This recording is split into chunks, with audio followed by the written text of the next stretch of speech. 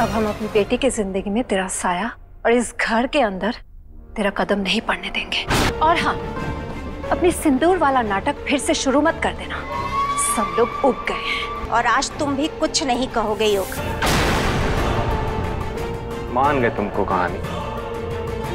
ये घर के साथ साथ तुम हो ये हमारी गुंजन और युग दोनों की ज़िंदगी बर्बाद करके रखी है। अब मान काहे नहीं जाती हो?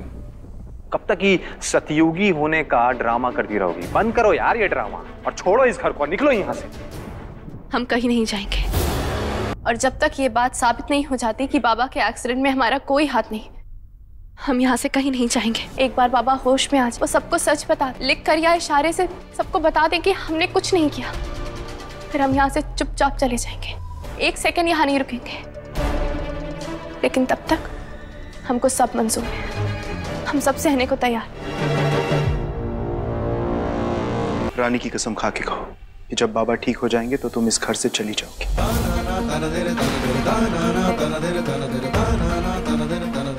कसम खाओ कहानी